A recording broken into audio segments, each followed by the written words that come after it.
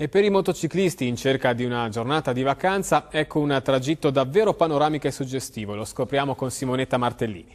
Beh, il passo del Muraglione io la metterei in alto livello.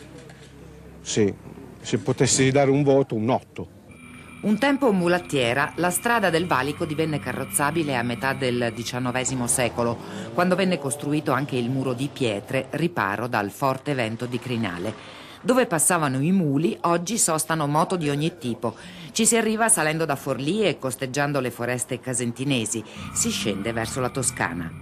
Questa strada l'ho fatta più volte, sì, a venire su, passo il Muraglione.